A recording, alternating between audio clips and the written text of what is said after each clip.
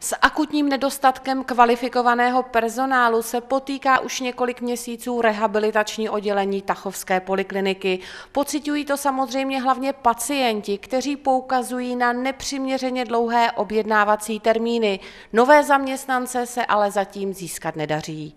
Bohužel to není krátkodobý problém. Cirka půl roku scháníme jednu fyzioterapeutku. V tuhle chvíli vzhledem k zájmu eh, pacientů bychom klidně vzali i dvě fyzioterapeutky na plný úvazek. Při hledání posil prý využívá vedení zdravotnického zařízení všechny možné způsoby, například inzerce v rámci celého plzeňského kraje i napříč Chebském či Mariánsko-Lázeňském. Snažíme se schánět eh, ve školách, které eh, jak si produkují ty, tyto absolventy.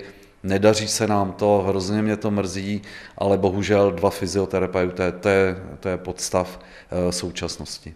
Pro případné zájemce se dokonce od města podařila zajistit i možnost přidělení služebního bytu. Nezabral bohužel ani tento benefit. Jak už zaznělo, kvůli podstavu se tak značně prodlužuje čekací doba na některé druhy péče. Elektroléčba, teploléčba, tam bych řekl, že jsme téměř v reálném čase, tak jak, eh, tak jak pacienti chodí. U některých dalších eh, procedur tam nám bohužel eh, se prodluží čekací lhůty a je to, je to opravdu nepříjemná situace. Na alespoň částečnou obhajobu stavu ředitel uvedl, že za poslední dva roky rehabilitační oddělení značně navýšilo počet výkonů. Například v loni jich bylo ve srovnání s rokem 2014 o 75 více. Proti roku 2015 to bylo 42%.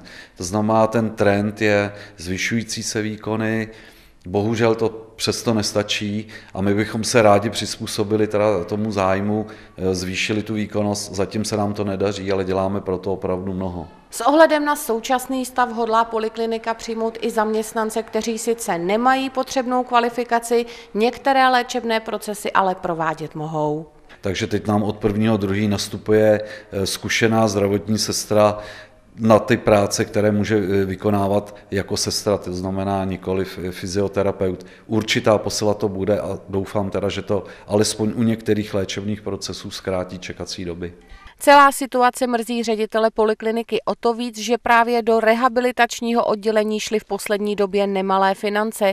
Investovalo se jak do stavebních úprav, tak do přístrojového vybavení a chystáme se eh, výrazněji investovat i do oddělení vodoléčby. To by mělo eh, proběhnout někdy do poloviny letošního roku. Prioritou ale samozřejmě zůstává personální obsazení, tedy najít dva nové fyzioterapeuty či fyzioterapeutky. Hledáme stále dál, inzerujeme, eh, budeme oslovovat znova školy, až bude končit maturitní ročník, zda se nám podaří někoho sehnat, uvidíme do budoucna.